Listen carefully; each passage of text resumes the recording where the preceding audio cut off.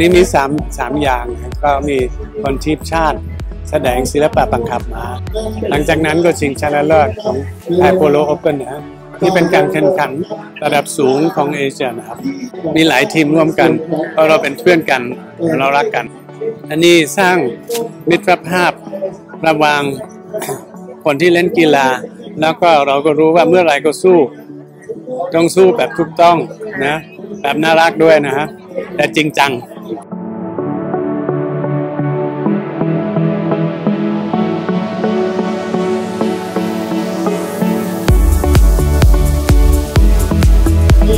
สนุกสนานดีแล้วมีมีความไลฟ์ดีดีอะค่ะ ก็ไม่ได้มาดูเก๋ๆเนาะมาดูคนแต่งตัว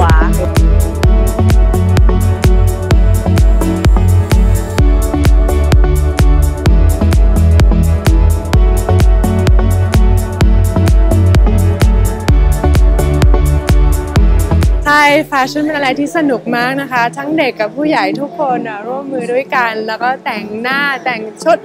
แล้วก็ม้าก็สนุกนะคะ ม้าบางตัวก็ตื่นเต้น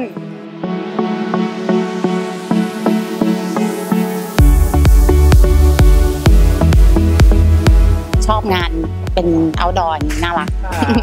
อยากมาดู แต่ที่ชอบมากๆก็เนี่ยเดี๋ยวมีบาร์บีคิวปาร์ตี้ใช่ไหมคะ แล้วตอนหลังจะมีจุดพลุอะไรเงี้ยเป็นคนชอบดูพลุก็อยากมาอยู่จนจบอะค่ะ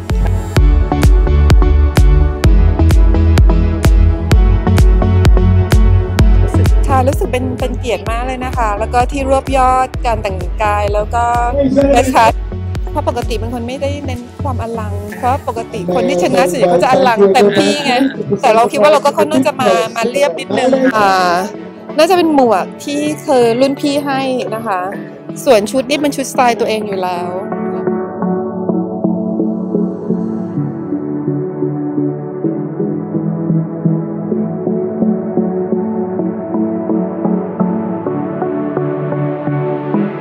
Familia from Malaysia and With the weather, it could have been Thanks, better. I wish it, it didn't rain. Could have uh, had a better final, but the outcome was fair and good sportsmanship on both sides. La Familia and. Thai Polo.